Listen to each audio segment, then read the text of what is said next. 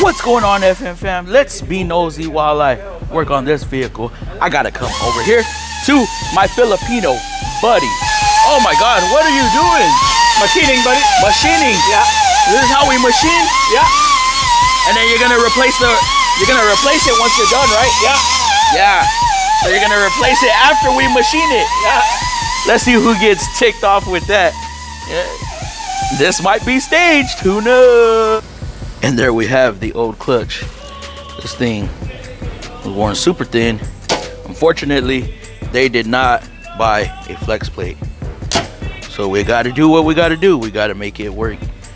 At least they're getting the clutch fixed. Now, we can't offer warranty if they don't replace the part or if the parts fail.